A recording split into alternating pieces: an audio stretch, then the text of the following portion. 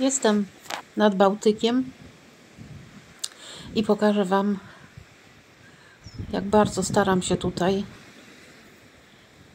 znaleźć chociaż kilka sztuk bursztynu. Wieje wiatr. Pogoda taka jak dla mnie sztormowa, ale może dla mieszkańców koło brzegu jest to standard.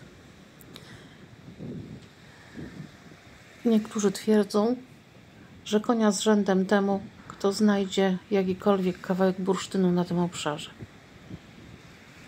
W ciągu tygodnia podejmę jeszcze trzy próby. Nie muszę nadmieniać, że dzisiejsza zakończyła się fiaskiem.